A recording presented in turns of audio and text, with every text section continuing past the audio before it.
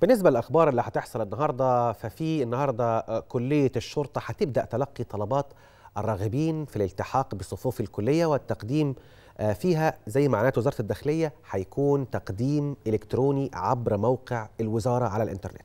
كمان النهاردة في عروض مسرحية مهمة ضمن مهرجان نقابة المهن التمثيلية.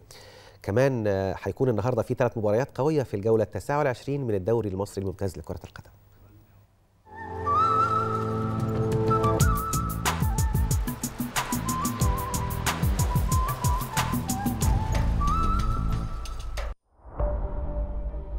بالنسبة للأخبار اللي هتحصل النهاردة فكلية الشرطة هتبدأ تلقي طلبات الراغبين في الالتحاق بالكلية من الحاصلين على الثانوية العامة السنة دي.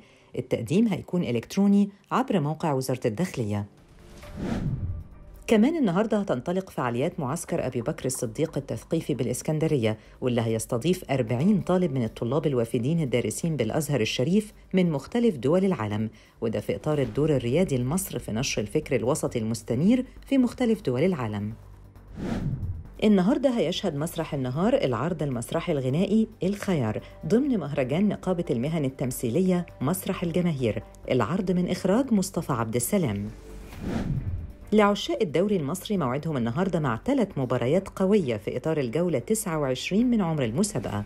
هيلتقي فريق سموحة مع سيراميكا كيلوباترا الساعة 6:30 بالليل.